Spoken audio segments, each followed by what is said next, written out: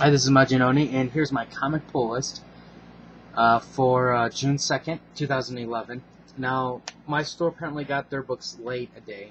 Uh, it's not that, basically, from what I was told, uh, the books arrived yesterday, but by the time they were able to process all of the books uh, for all their stores, it wasn't until later at night, so that's why everything was put out and um, today, even though the street date technically was yesterday.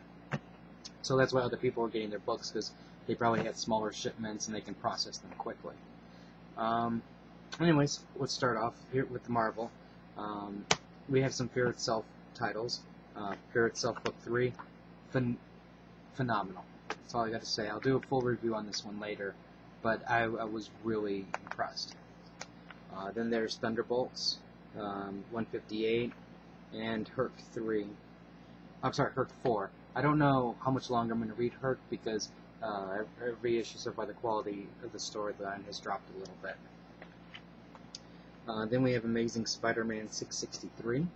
I'm really looking forward to this one, considering this is uh, a Jean DeWolff uh, tie-in type thing. Astonishing X-Men number 39.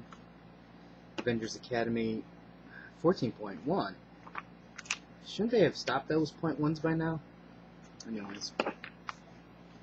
Uh, X-Men number 12.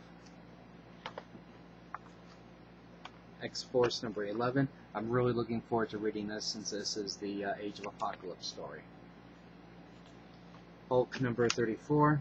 Um, Planet Red Hulk number 1 storyline. So, I don't know, I just bought it on the whim. Uh, then there's uh, G.I. Joe Cobra uh, number 2. The Boys, number 55. 30 Days of Night, Night Again, number 2. Hack Slash meets uh, Zombies versus Cheerleaders. I don't know. Maybe I shouldn't have bought this one. But this was thrown in my box because it was Hack Slash. But, um, yeah, this doesn't look very good. Uh, then there's Flashpoint number 2. Now, I'm going to do a special video with uh, flat, not necessarily Flashpoint, but with the uh, re the renumbering and uh, reboots and stuff like that later. Um, I I read this and it sparked some ideas for me. I want to reread this again so this way I get a better understanding. I can better formulate my thoughts about what's going on. Uh, Batman Beyond number six. Uh, DC Online Legends number 9. So, as you can see, we got a lot of books. I'm curious to know what you guys got in your pull list.